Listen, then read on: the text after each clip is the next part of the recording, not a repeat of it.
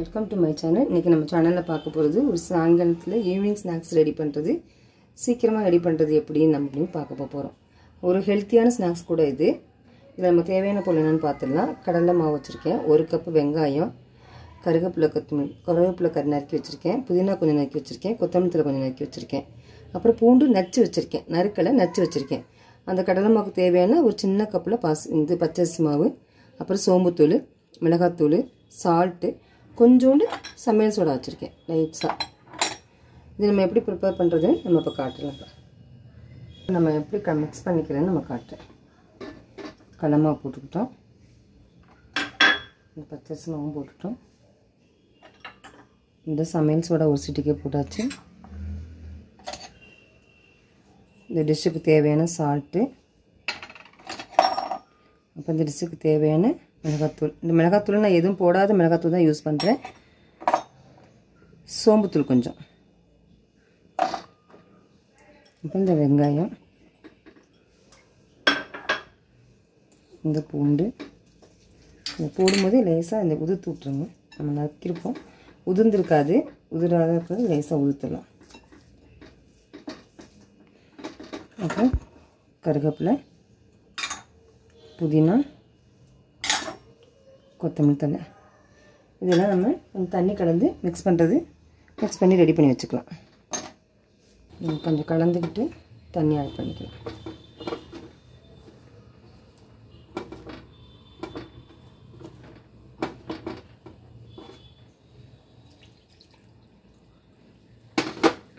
எப்போவுமே நம்ம அந்த வீட்டில் இந்த பொருளில் நம்ம ஃப்ரிட்ஜில் இருக்கும்.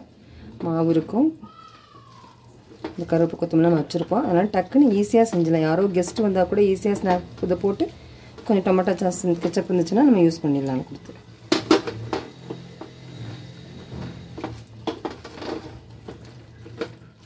இதை பாருங்கள் நம்ம எல்லாமே நல்லா பிசைஞ்சாச்சு. இந்த பதத்துக்கு இருந்தால் போதும். ரொம்ப தண்ணி வேண்டாம் ரொம்ப திக்காக வேண்டாம். டூ மினிட்ஸாக நம்ம ஈஸியாக கலரிட்டாக செஞ்சிடலாம். ரெடி ஆகிடுச்சு நம்ம இப்போ கடாயை ஆன் பண்ணிவிட்டு தேவையான எண்ணெயை கடாயில் சாப்பிட்றலாம் எண்ணெய் ஹீட் ஆகட்டும். எதிர்த்து நம்ம இதில் எப்படி போடுறதுன்னு போட்டுடலாம்.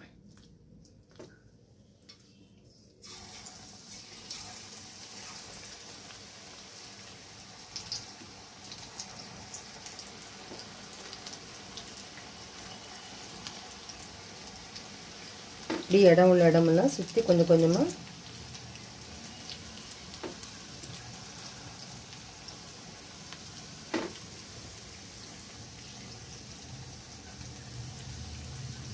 ஒரு செட்டு போட்டுடலாம். ஒரு பக்கம் வெந்துருச்சு. நம்ம இதை அப்படியே மெல்ல பரட்டிடலாம்.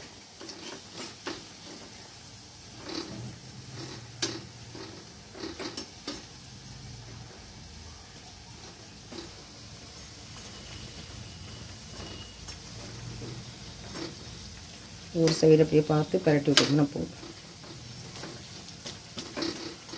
வெந்தோடனே அது ஆட்டோமேட்டிக்காக கொஞ்சம் கொஞ்சம் கொஞ்சமாக உடஞ்சிரும் அது நம்ம எடுக்கிறதுக்குள்ளே அப்படி வேகமாக உடனே திருப்பினோம்னா நமக்கு கரைஞ்சிரும். அதனால தான் லேட்டாக திருப்புறேன். இந்த வெங்காய தூள் பச்சு வந்து குழந்தைங்களுக்கும் நல்லாயிருக்கும் பெரியவங்களும் சாப்பிட்லாம். கருவேப்பிலை கொத்தமல்லி புதினா எல்லாம் நல்லா வெந்துடும் இதில். இப்போ பாருங்கள் இந்த தூள் பச்சு நல்லா வெந்துருச்சு. இதை நம்ம எடுத்துடலாம்.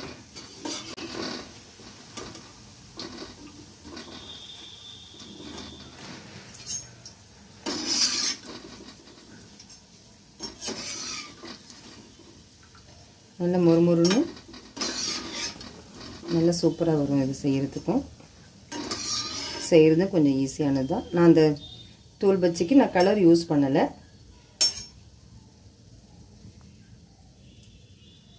ஒரு செட்டு ரெடி ஆகிடுச்சு வெங்காயத்தூள் வச்சு ரெடி பண்ணிட்டோம். இது கூட சாஸ் வச்சு நம்ம பசங்களுக்கு சாப்பிட்லாம். எல்லாருமே சாப்பிட்லாம் இதில். இது எல்லா பொருளுமே ஹெல்த்தியானது தான் இதில். இந்த இந்த டிஷ் உங்களுக்கு பிடிச்சிச்சின்னா லைக் பண்ணுங்கள் ஷேர் பண்ணுங்கள்